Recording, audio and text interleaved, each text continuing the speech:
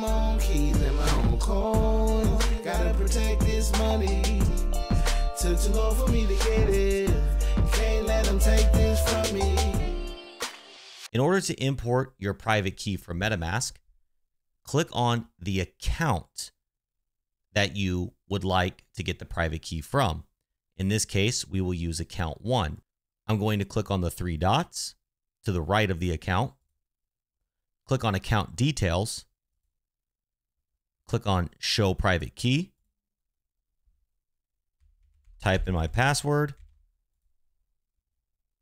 hold to reveal private key, and then it's going to show a string of characters that looks kind of like your public address.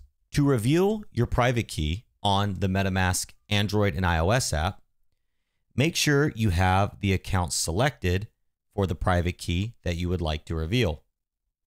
Once the account is selected, click the three dots to the right of your address. Click on Show Private Key and follow the steps as previously presented earlier in the video.